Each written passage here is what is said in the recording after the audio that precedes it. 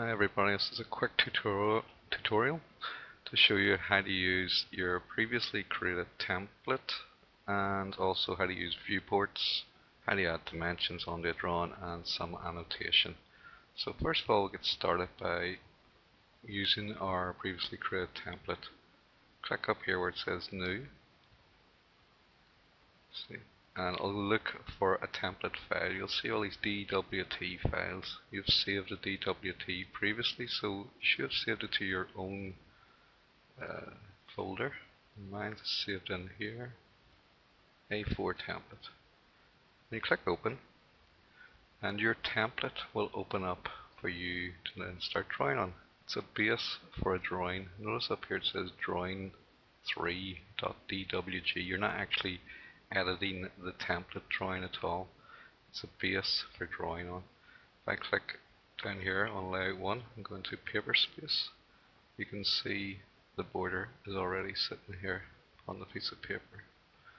You see it's slightly off. And the way to fix that is if you go into, sorry, right click on this tab, go into the page setup manager, go to modify, untick and retick hit OK and close. There you go, it centered it. So that's handy little tip. Uh, your drawing will always be done in model space. So we move back to model space. The area we're in at the minute, this layout one tab, is known as paper space. This is your piece of paper and this is where everything gets printed out on.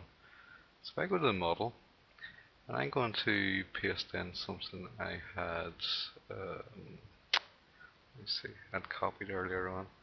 So I go up here and paste, paste that drawing I have created and zoom all. You'll see here I have a plan view, a front elevation, a end elevation and a section through the building. In fact I'll move this section from here just down to here. Doesn't to be too exact, that'll do rightly. So I have my drawing in model space. There's no annotation, there's no dimensions here. How to take the drawing, put it onto a piece of paper, we use viewports. So first of all, move into paper space. Select the viewport layer that you should have created. And I'll just show you here, whenever you've created the viewport layer, it shouldn't print off at the end of the day. There's this little icon here to show that won't print. You can see it, but it won't print. How to use a viewport. You need a viewport toolbar. And there's a couple of ways of bringing it up. I'll use the ribbon method here. If you click on view, and over on the right hand side you can access toolbars. I like to use AutoCAD toolbar for this. Go down this list. Keep going until you see the one that says viewports. And there is the toolbar. So keep that horizontal. Let's move it over here. Back into the home ribbon. Anyway, the toolbar, you only really need to worry about two parts of this. This icon here, single viewport, will create a viewport and what scale the viewport is at. So if I click on that, you then need to specify two corners or rectangles. So one here and one about there and whatever has been created in the model view will then appear inside the viewport. You need to set the scale, you need to see what you're looking at in the viewport. So the way we do that, this down here tells you you're in paper space. You need to activate the viewport. So you click on this, it now says model here, and you'll notice the viewport has a thick boundary, and you can pan and zoom within this viewport. And this is what we need to do. We set what we need to look at or want to look at roughly in the center of the viewport and then pick a scale from the drop down menu. 1 to 100 I think will be good. Yep. And once the scale has been set, you then deactivate the viewport by clicking here. Now I don't, the viewport's still active, mean I don't want to see the grid, so I'm going to turn the grid off here. It will only affect this viewport and turn it back into paper space. So I've now got a view of 1 to 100. The viewport, by the way, can, if it's too large or too small, you can click on the edge of it and you'll get the grips appearing on each of the corners, the blue boxes.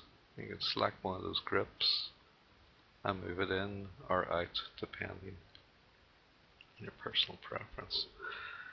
Okay, skip out of that. I can actually move the viewport as well if I don't like where it is sitting on the page. Put it up here maybe. That's fine. I can create another viewport right beside it. And again do exactly the same thing. Make the viewport active. Put what I want roughly in the center and then select the scale. I will try 1 to 50 for this. Too big. 1 to 100. Good scale. And deactivate. As I say, if the viewport is too big, you can simply make it bigger.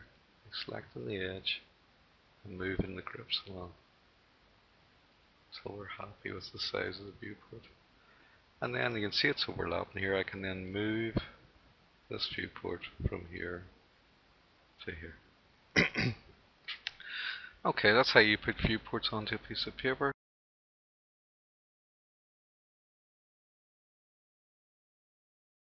I'm going to put some dimensions on, change to the correct layer. Up here is how you put linear dimensions on, and on the drop down there are more options. Aligned, or dimensions going at an angle. Angular, uh, diameter and radius. The usual ones you would use are on this drop down. Most of them will be linear. Um, the other thing we'll be doing is putting notes on and we'll use a multi-leader. Before we use either of these to position dimensions or notes, we should just check what the settings are. So click here. This is your dimension style manager. This is your multi-leader style manager. Have a quick look at the dimension style manager. And you'll notice that the preview shows that uh, the whole numbers are followed by a comma and then uh, the decimal point numbers. So I'm going to modify this. There's not much to modify. To leave most of the settings as they are. Select the primary units. I'm going to move it down to no decimal points. This is a building.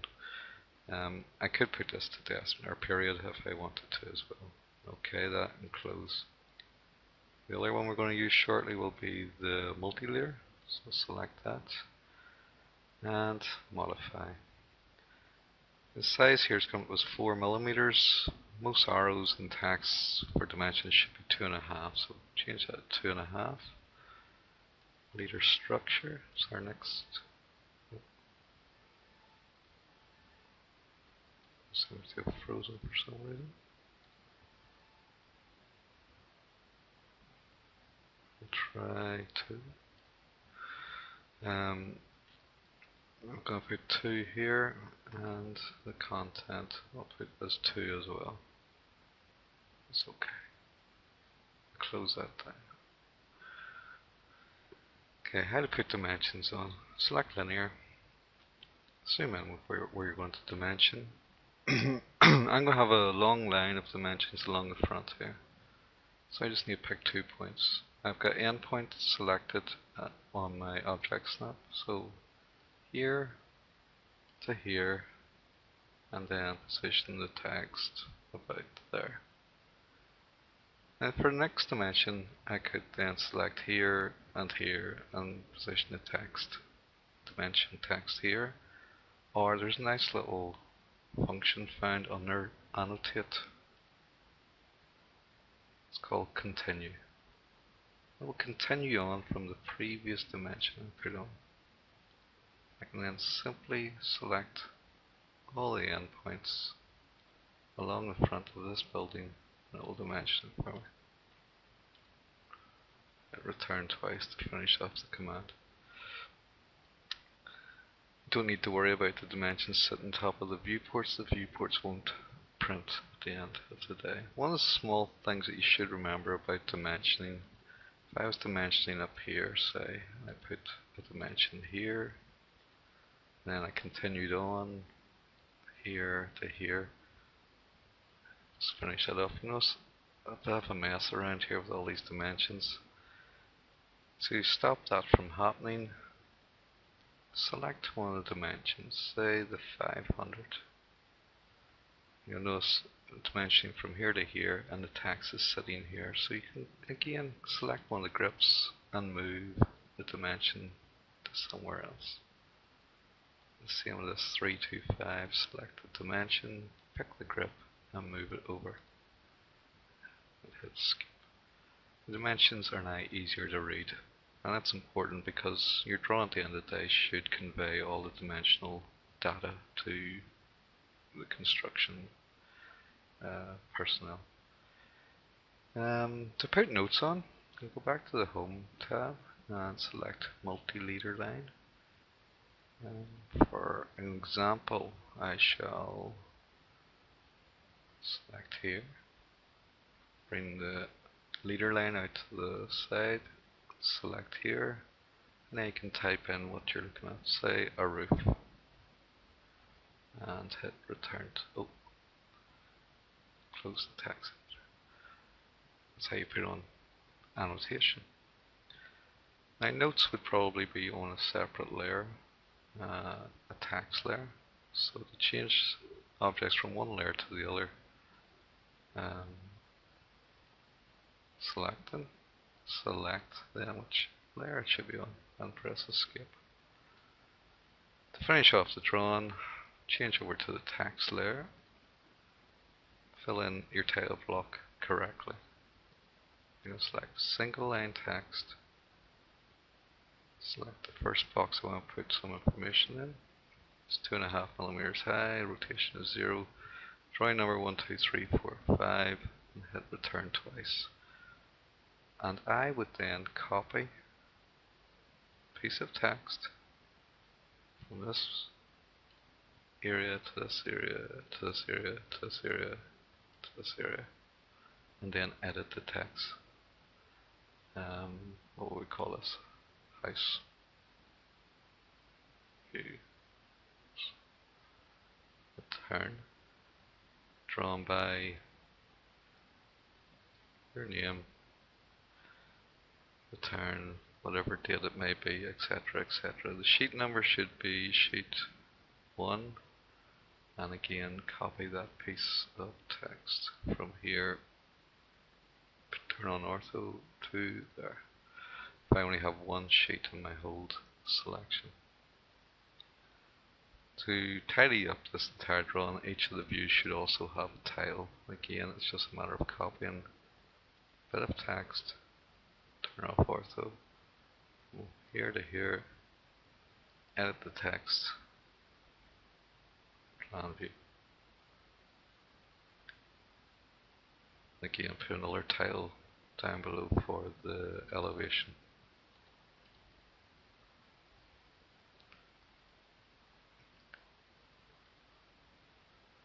Front elevation. Return. If you don't want to see the viewports, you can turn them off so they are invisible by selecting this item here you can see your end result. It's a little tight here, you might want to move this view down a little bit.